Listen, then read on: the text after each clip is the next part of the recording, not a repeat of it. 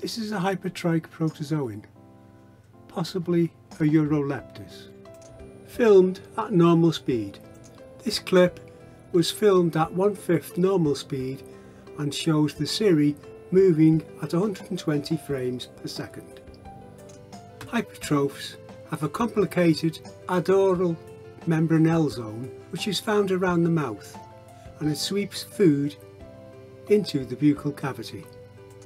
From the side it is easy to see how some cirri are used as legs.